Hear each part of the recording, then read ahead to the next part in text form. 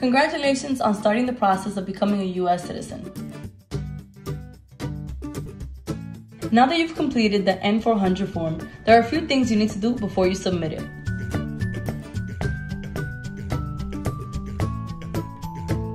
The first thing you need to do is print out your application.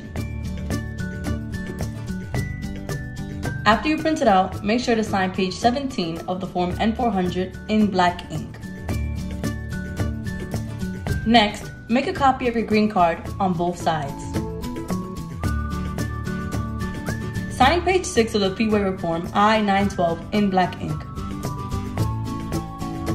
For the fee waiver, you need a letter from Medicaid. To obtain it, call the number 888-692-6116. Press the number 2 for Spanish, then press the number 4 to speak to an HRA advisor. If you have to pay, send a check to USCIS made out to the U.S. Department of Homeland Security. You can pay by personal check or by debit or credit card if you complete the form G1450.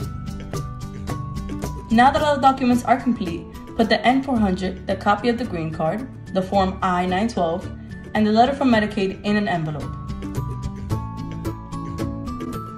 Make sure to put your name and address at the top of the envelope and at the bottom, put where it's going to. If you send it with USPS or FedEx, UPS, or DHL, there are two different addresses. Make sure to use the correct one. Good luck in your process of becoming a US citizen. If you have any questions, feel free to reach out.